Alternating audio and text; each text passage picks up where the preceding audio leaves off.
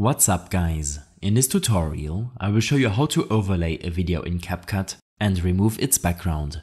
This should be quite an easy tutorial. For more information, click on the first link in the description below.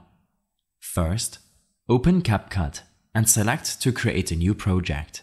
Proceed to import your main video, on which you will later overlay the transparent video. When this is done, tap on Overlay on the bottom of your screen. Tap on Add Overlay, which will allow you to choose the video which will play on top of your existing video. It's suggested to have a solid one-colored background, such as black or green, to make it easier for the application to remove the background. When this is done, you may see that your overlay is not completely covering your original video. Tap on your overlay video and expand it to cover the entirety of your video footage below. Next, tap on the splice option in your toolbar. Depending on the base color of your overlay, you will have to use different options such as lighten, soft or dunge. As I am using a black background, I will proceed with the lighten option.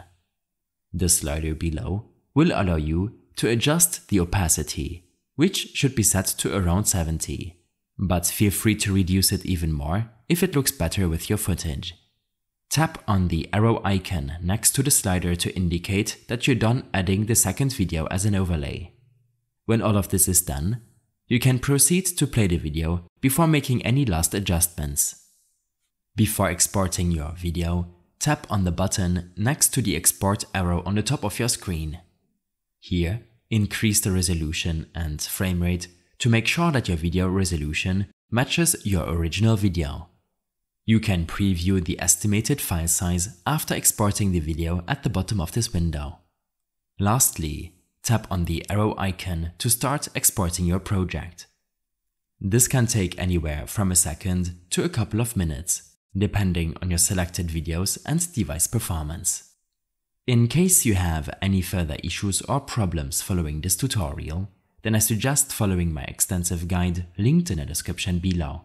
I hope this helped you out Leave a comment if you have any questions and see you in the next one.